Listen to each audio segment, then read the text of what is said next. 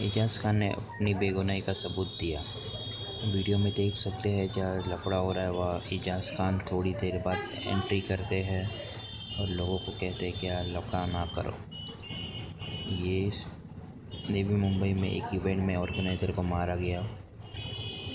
उस पर वीडियो खुद एजाज खान की टीम ने शायद कैप्चर की है। इसमें साफ़ नज़र आ रहा है कि एजाज खान लफड़ा नहीं कर रहे थे? बल्कि वो लफड़ा होने से रोकने की कोशिश कर रहे थे। ये इन पर मामला दर्ज हो चुका है छः लोगों पे एजाज के साथ।